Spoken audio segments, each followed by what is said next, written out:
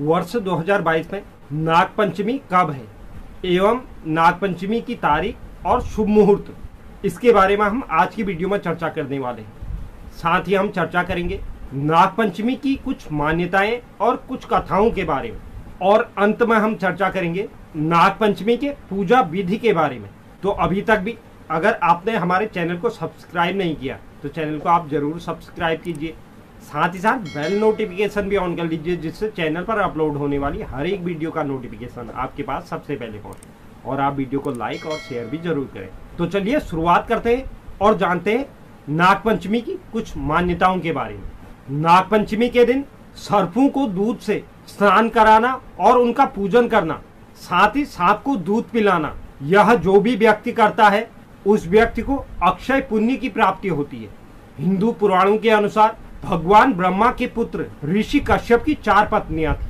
मान्यता यह है कि उनकी पहली पत्नी से देवता, दूसरी पत्नी से गरुड़ और चौथी पत्नी से दैत्य उत्पन्न हुए थे।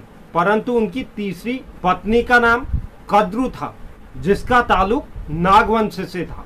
उन्होंने नागु को उत्पन्न किया था। पौराणिक कथानुसार जन्मजे जो अर्जुन के पौत्र थे और परीक्षित के पुत्र थे, उन्होंने सर्पों से बदला लेने और नागवंश के विनाश हेतु एक नाग यज्ञ किया, क्योंकि उनके पिता राजा परीक्षित की मृत्यु तक्षक नाग के काटने से हुई थी। नागों की रक्षा के लिए इस यज्ञ को ऋषि जरत्कारु के पुत्र आस्तिक मुनि ने रोका था। जिस दिन इस यज्ञ को रोका गया, उस दिन श्रावण मास के शुक्ल पक्ष की पंचमी थी और तक्षक नाग और उसका शेष बचा हुआ वंश इस विनाश से बच गया। मान्यता यह है कि यहीं से नागपंचमी पर्व मनाने की परंपरा रही है। वर्ष 2022 में नाग पंचमी 2 अगस्त 2022 को मंगलवार के दिन है। नागपंचमी पूजा का जो शुभ मुहूर्त रहेगा, वह सुबह पाँच बजकर बयालीस मिनट से सुबह आठ बजकर चौबीस मिनट तक रहेगा। इस दो घंटा इकतालीस मिनट की अवधि में आप नागपंचमी की पूजा कर सकते हैं। ज्योतिष शास्त्र में पंचमी तिथि का स्वामी नाग को माना गया है। इसलिए इस दिन नागों की पूजा प्रधान रूप से की जाती है। जिस व्यक्ति के भी कुंडली में काल सर्प दोष है, उस व्यक्ति को इस दिन काल सर्प दोष की पूजा ज़रूर करनी चाहिए। अगर व्यक्ति किसी कारणवश यह अनुष्ठान नहीं कर सकता तो नागपंचमी के दिन उसे कुछ ऐसे कार्य करने चाहिए, जिससे व्यक्ति को काल सर्प दोष से मुक्ति मिल जाती है। अगर आपको यह कार्य जानने हैं तो इस वीडियो के ऊपर आई बटन पर यह लिंक दे दूँगा। साथ ही वीडियो के अंत में भी मैं इंड स्क्रीन पर इस वीडियो को लगा दूँगा। आप उस वीडियो को देखकर नागपंचमी के दिन ऐसे कौन से कार्य हैं जिससे काल सर्प दोष का निवारण हो सकता है? इस वीडियो को देख सकते हैं। क्योंकि वह वीडियो मैं कुछ समय पहले बना चुका हूँ तो आप उसे देख सकते हैं और उससे वह उपाय जान सकते हैं। अब हम बात करते हैं नागपंचमी पर्व की पूजा विधि के बारे में। नागपंचमी का जो भी व्रत करता है तो उसे यह जानना ज़रूरी है कि नागपंचमी के व्रत के आठ नागदेव माने गए हैं। इस दिन में अनंत वासुकी, पद्म, महापद्म, तक्षक, कुलीर, करकट और शंख नामक अष्ट नागों की पूजा की जाती है। जो भी नागपंचमी का व्रत रखता है, उसे चतुर्थी के दिन एक ही बार भोजन करना चाहिए, तथा पंचमी के दिन उपवास कर कर शाम के समय भोजन करना चाहिए।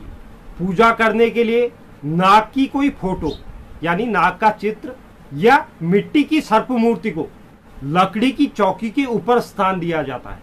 उसके पश्चात हल्दी, रोली, या लाल सिंदूर, चावल और फूल चढ़ाकर नाग देवता की पूजा की जाती है। उसके बाद कच्चा दूध, घी, चीनी मिलाकर लकड़ी के पट्टे पर बैठे सर्फ देवता को इसे अर्पित किया जाता है। पूजन करने के बाद नाग देवता की आरती की जाती है। इस दिन किसी सपेरे को कुछ दक्षिणा देकर यह दूध आप सर्प को पिला सकते हैं। अंत में नाग पंचमी की कथा इस दिन ज़रूर सुननी चाहिए। तो इस तरह से आप नागपंचमी पर्व की पूजा कर सकते हैं। और अगर आपकी कुंडली में काल सर्प दोष है तो मैं आपको पुनः से बता दूँ, मैं वीडियो के अंत में इंड स्क्रीन पर भी उस वीडियो को लगा दूँगा और ऊपर आई कार्ड पर भी इस वीडियो का लिंक दे दूँगा।